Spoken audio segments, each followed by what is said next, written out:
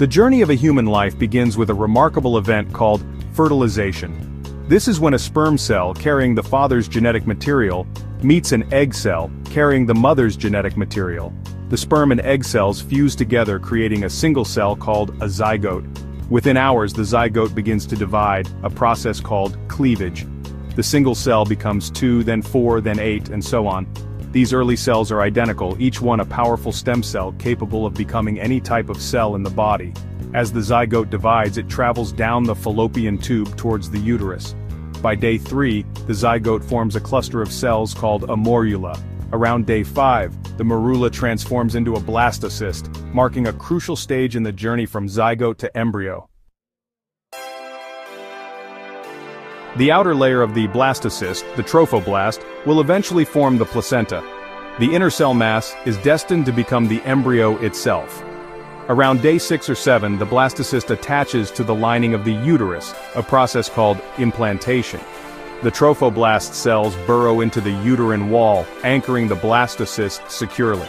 This connection allows for the exchange of nutrients, oxygen, and waste products. Once implanted, the blastocyst continues to grow and develop. The inner cell mass forms two distinct layers, the epiblast and the hypoblast, setting the stage for the next major milestone gastrulation. Gastrulation transforms the bilaminar disc into a three-layered structure called the gastrula.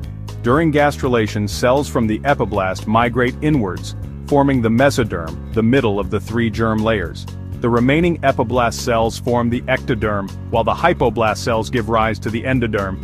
These three germ layers are the building blocks of the human body.